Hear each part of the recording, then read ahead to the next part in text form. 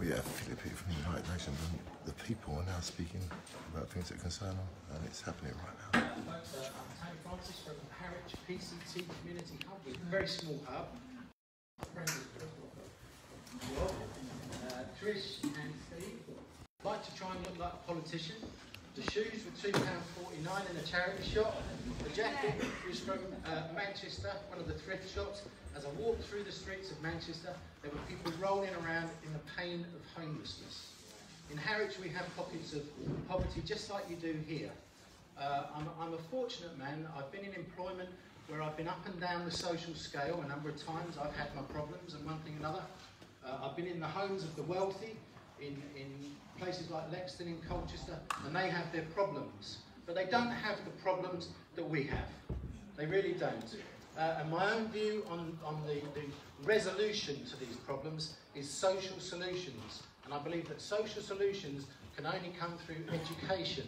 So my question is, can you please ask the government, just as we have a very fine human rights department uh, at Essex, a world leading human rights department that are very well represented here today, can we have a human responsibilities department, please, that is coming up with educational programs that they can feed into Eton and Harrow and Tendring Coastal Academy and Harwich County High School and start it off with our primary school. A human responsibilities program, please. And they need to get out have a look at the issues. And they need to get on the streets. They can come out with me when I street pastor. I'd love them to. They can go with CAP and see what the real problems are. Let them learn by experience. Please. And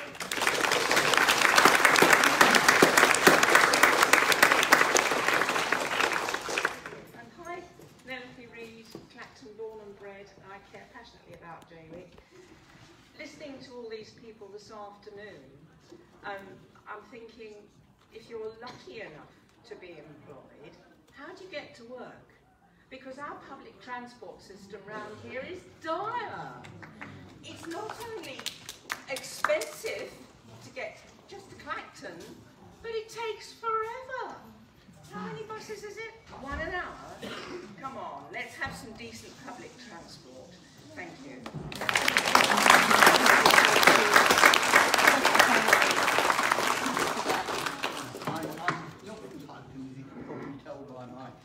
Accent I'm from further north.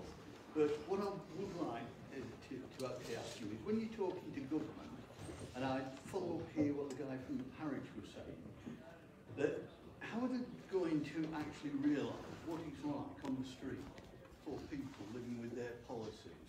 I mean, I, I did a quick examination this morning of the cabinet. 48% of the cabinet went to either Oxford or Cambridge. 60% of the cabinet went to private schools. I don't think these people have any idea what it's like living in Britain today.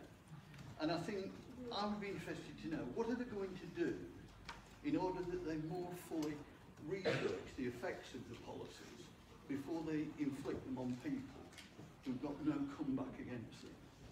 Thank you.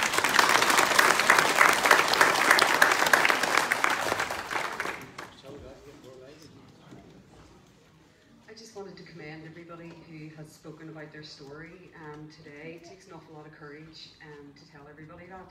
Um, my question, um, Philip, is every time a government, government minister is on TV and is given the stories that you've heard today, we get empty platitudes back, which is there is much more money going into education than there ever has been before. There's more money going into the NHS than there ever is before. And I would like to know, what are you going to say when they tell that to you?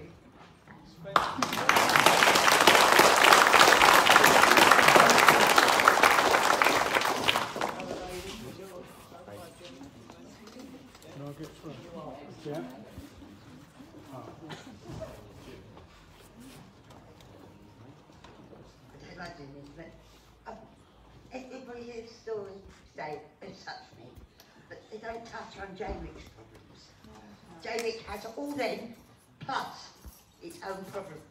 And that's what I thought we were here to talk about.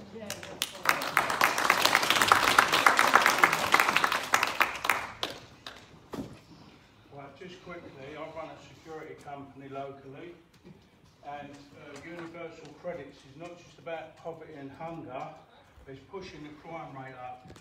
I have seen a spike in burglary, uh, not everybody's a criminal, they're not all homegrown criminals.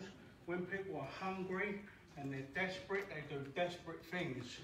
And the youngsters got nothing, no help, and all they've done is branded criminals. It's not right, it's terrible. Burglary is a terrible thing. But it's universal credits is pushing good people. They've got to eat, they've got to go out and provide. And it's pushing the crime rate up. Not many people in my industry would would say that because I should be rubbing my hands together because I'm getting loads of work and a nice few quid. But it's wrong. It's not right.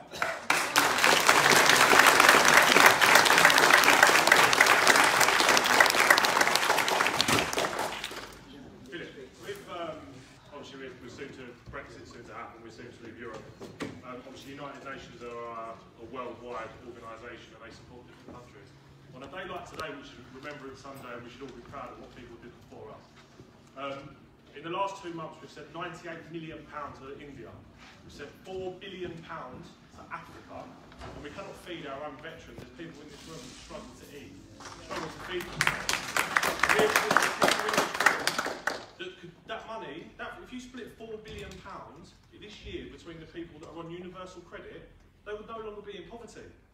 So how is it acceptable for us to send four billion pounds to Africa and 98 million pounds to India when people in our own country can't eat? It's ridiculous. What will you say to them about the fact we send all these billions of pounds every year? They say we're going to save 350 million pounds a week by Brexit, but now we're have to pay the divorce bill in billions. So we might as well not done Brexit and just spend the money on universal credit to take all these people out of poverty.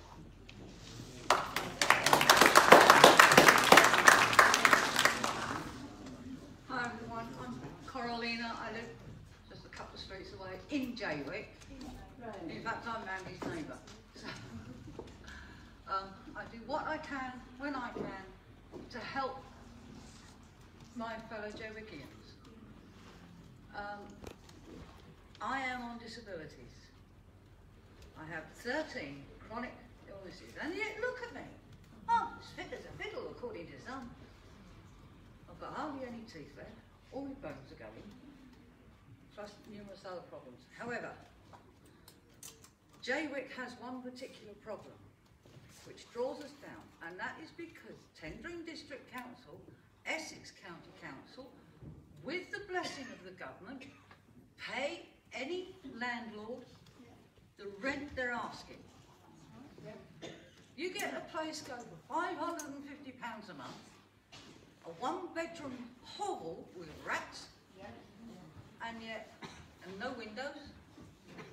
I have a friend, I have several friends with no windows, through no fault of their own, and the landlord says, oh, we'll make that good if you clear the front. We'll make that good if you do this. It's not down to the tenant. Expose his name then. If ten, we Expose all the know landlord's it. name then to everybody so the media can hear. I would only got one meeting here, please, thank you. I won't say his name out loud because I don't want to get sued and I don't want my windows put in. But we all know who he is and I will say it privately. So if he's listening, I've had enough. Don't answer your door. Our street, Because we've been trying to sue to get my windows open for seven we won't fund it. it's all right, Randy, I know. Um, I have a garden next to me that I rent with the blessing of the council. And from there, I produce fruit, veggies and everything, and I give it away every year. This year, in one night, all our fruit disappeared down the road because we've got trees. We planted them, friends and workers, and we're proud of our trees. Some arseholes come and eat every single one. Every apple, every pear, every cherry, all gone. Now we have a suspicion that it was a put-up job by a certain landlord. Don't know if it's true. But there's pressure. It, we all get. I'm, lu- I'm lucky, I've got a really decent landlord. And he kept my rent fair. So I have been able to plant trees, do all sorts of things in the road, doing a pub, doing a little library at the moment. But that particular landlord, along with some of his friends, have kept this street, for instance, down in the ground. This- Um, so we have to vet the landlords. We have to please ask our government